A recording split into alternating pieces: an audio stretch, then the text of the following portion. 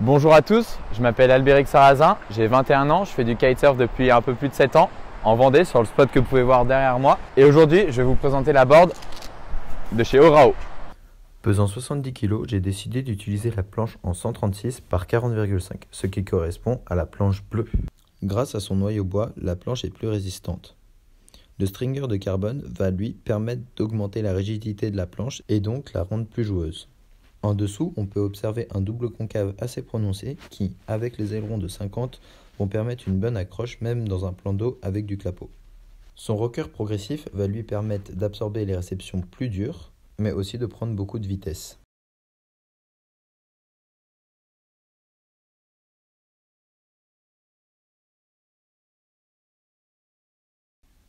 La première chose que j'ai remarqué, c'est la légèreté de cette planche, qui va la rendre super joueuse et hyper facile.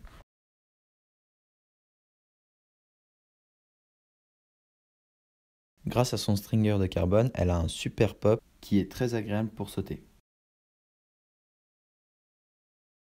J'ai été surpris à quel point son double concave permettait une bonne accroche dans l'eau et une remontée au vent facile.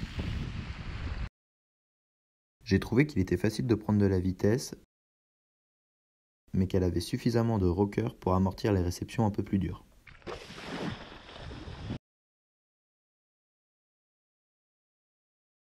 J'ai trouvé ça super agréable de ne pas avoir de projection d'eau dans les yeux pendant les sessions.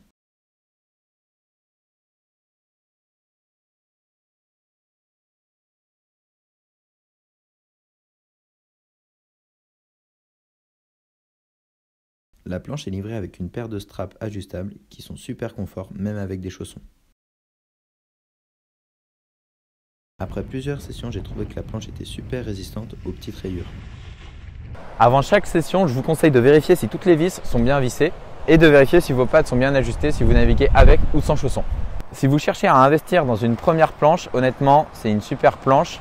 J'ai rien à redire après plusieurs sessions. Je la trouve très performante avec un super rapport qualité-prix. Je la conseille vivement à des riders euh, débutants à intermédiaires pour tout ce qui est freestyle, big air, freeride.